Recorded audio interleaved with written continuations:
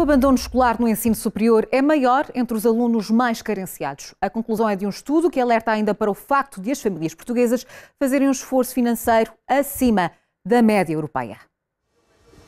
Quanto menos favorecido é o contexto socioeconómico do estudante, maior é a taxa de abandono.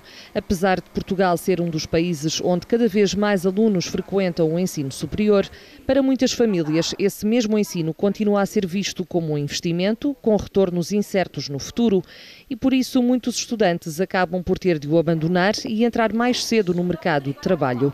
São estas as conclusões do estudo do EduLog chamado Estudantes Nacionais e Internacionais no Acesso ao Ensino Superior. Os resultados divulgados esta segunda-feira mostram que, além de o abandono escolar no ensino superior ser mais elevado entre os alunos mais carenciados, as famílias portuguesas fazem um esforço financeiro acima da média europeia.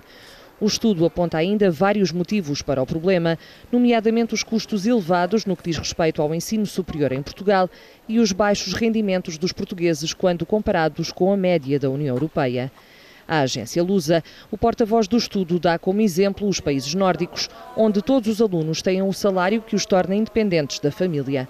Alberto Amaral considera que essa seria uma despesa incomportável para Portugal, mas sugere como soluções o alargamento do acesso às bolsas a mais alunos e o aumento substancial do valor das mesmas.